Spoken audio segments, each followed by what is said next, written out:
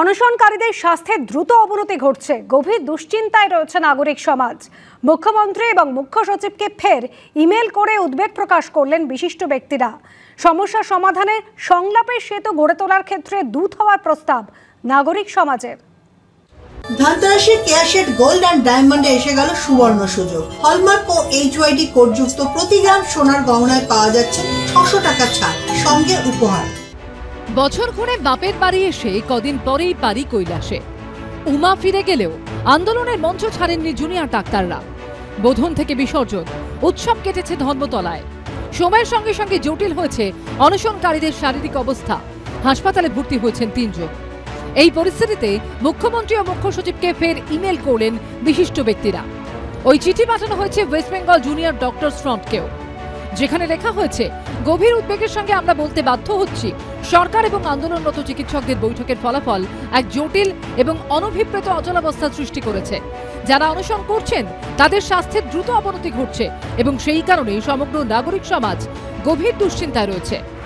এত মানুষের সম্মিলিত যে কণ্ঠস্বর, এই দাবিগুলো নিয়ে পর্যালোচনা করার বিষয়ে সরকারকে সদর্থক ভূমিকা পালন করা উচিত। না হলে এই যে জায়গাটা, ব্যথা এবং যন্ত্রণার জায়গাটা দিন দিন বাড়তে থাকছে এবং সবার কাছে একই কোশ্চেন থাকছে, আর কবে আর কবে? যখন মেগা র্যালি হয়েছিল তখন থেকে তো দিয়েছিলেন ওনারা সময়, চব্বিশ ঘণ্টা বলেছিলেন, যানবাজি রাখব। তখনও কিন্তু কেউ কিছু বলেনি। কোনো কোনো সরকার আসেনি। তাই জন্য আজকে আমাদের এই জায়গায় বসতে হয়েছে। আমরা যদি না বসতাম, তাহলে আমাদের কথা কেউ শুনবে না। এরকমই না কি ব্যাপার? তাহলে আমরা যানবাজি রেখে দেবো। এবার বলুন কি করব? এর থেকে বড় আমরা কি করতে পারি? চিঠিতে লেখা হয়েছে, সরকার চিকিৎসকদের অধিকাংশ দাবির ন্যায্যতা স্বীকার করা সত্ত্বেও বাস্তবায়নের প্রক্রিয়া নিয়ে যে সংশয় এবং নিরাপত্তাহীনতা আন্দোলনরত ডাক্তারদের অনুসরণের পদক্ষেপ নিতে বাধ্য করেছে, সে আর্জি ডাক্তারদের একার নয়, বৃহত্তর নাগরিক সমাজেরও। চিঠিতে নাম রয়েছে অপর্ণা সেন, কৌশিক গঙ্গোপাধ্যায়, কমলেশ্বর মুখোপাধ্যায়, পরমব্রত চট্টোপাধ্যায়, সৃজিত মুখোপাধ্যায়, কৌশিক সেন, রূপাঞ্জনা মিত্র সহ তিরিশ জনের। নয় অগস্ট থেকে যা যা দেখলাম তারপরে যেভাবে গতিবিধি দেখেছি, যেভাবে তদন্ত হচ্ছে সব কিছুর পরেও আজকে যখন এক এক করে আমাদের জুনিয়র ডক্টররা অসুস্থ হচ্ছেন, তাও আমরা দেখছি। সব দেখেও কিন্তু চুপ করে আর বসে থাকতে পারছি না। এই যে সিভিল সোসাইটি বা নাগরিক সমাজ, আমরা একটু বসতে চাই। চেষ্টা করব যে দুপক্ষেরই কথার মধ্যে একটা কোথাও একটা সঠিক মীমাংসার জায়গা যেন আমরা আসতে পারি। সরকারকে দেখছি একেবারেই নির্বিকার। তাদের দশটা দাবি সম্পূর্ণভাবে সাধারণ মানুষের জন্য হ্যাঁ এবং নাগরিক সমাজের জন্য। আর সেখানে আমাদেরও কিছু দায়িত্ব থেকে যায়, যে যাতে সেটা রূপায়িত হতে পারে। এই গণতন্ত্রের ভিত্তিটাই কিন্তু রাষ্ট্রের সঙ্গে জনগণের সমঝোতার মধ্যে দিয়ে চলে।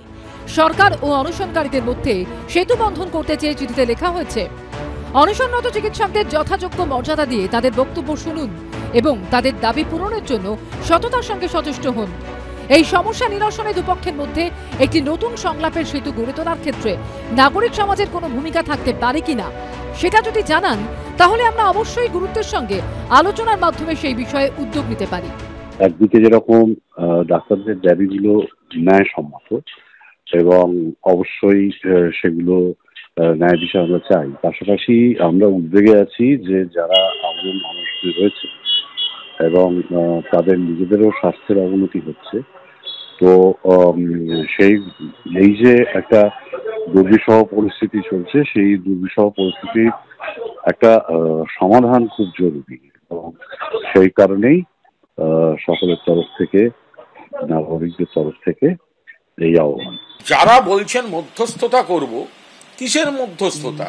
তারা গিয়ে জুনিয়র ডক্টরদের বলুন, অনশনটা তুলতে, কারণ তদন্ত করছে সিবিআই চার্জশিট দিয়েছে কোর্টে, বিচার করবে কোর্ট, মনিটর করছে সুপ্রিম কোর্ট, আর ইনফ্রাস্ট্রাকচার এক্সপ্যানশনের কাজ করছে স্টেট গভর্নমেন্ট এই অবস্থায় অনশন কেন? ছেলে মেয়েগুলি যাতে শরীরে চাপ না পড়ে, তারা গিয়ে আগে অভিভাবকের মতো বসান। সরকারের কাজ তো সরকার করেছে। এর আগে গত ন তারিখ আজিকর কাণ্ডে মুখ্যমন্ত্রী ও মুখ্য সচিবের হস্তক্ষেপ চেয়ে ইমেল পাঠায় নাগরিক সমাজ।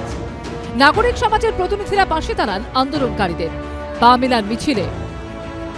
অচলাবস্থা কাটাতে এবার সেতু বন্ধন করতে চেয়ে চিঠি লিখলেন বিশিষ্টজনেরা। অনশনরত চিকিৎসকদের কাছে তাদের সক্রিয়তায় আস্থা রেখে অনশন প্রত্যাহারের আহ্বানও জানানো হয়েছে চিঠিতে। এবিপি আনন্দ কলকাতা।